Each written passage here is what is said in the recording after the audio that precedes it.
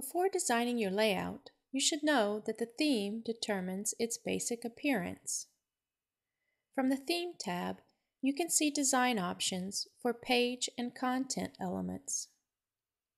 If you have specific needs for the layout, the Layout tab offers a few options. But remember, these styles can override those set in the theme.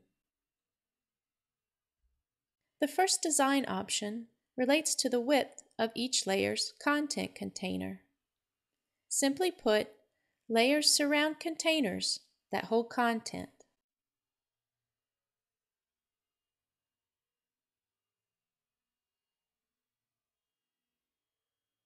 You also design content elements using typical CSS styles like those for sizing, backgrounds, and borders.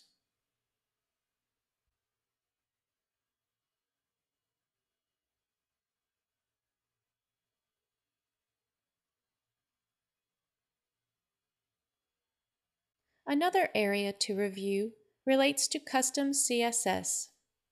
Remember, you add CSS in the Theme tab.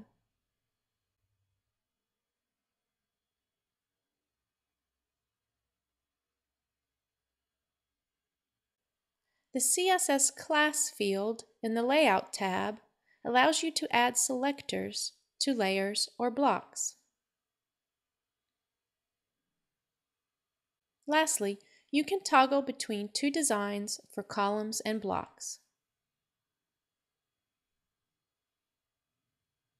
Both designs are set in the Theme tab.